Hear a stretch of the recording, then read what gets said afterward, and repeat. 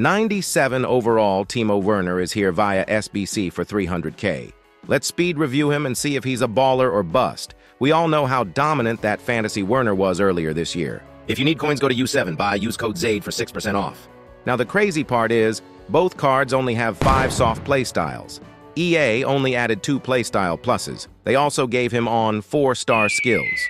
Now his technical dribbling is great cause of Tech Plus, but with his body type, his left stick isn't great, and five-star skills would have helped a lot on that front. First Touch Plus is very nice for the style of football he plays, a run-and-gun type of striker. His physicality struggles a bit too, he needs a sniper chem style. Now he's certainly very quick with quick step and rapid plus. He can finish very well, has great power shots, and a strong, weak foot.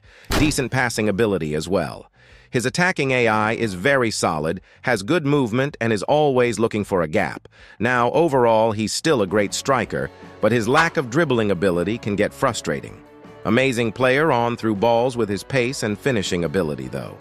It's basically like a cheap Butragueno, similar styles of play and similar abilities, Werner just isn't as good at dribbling.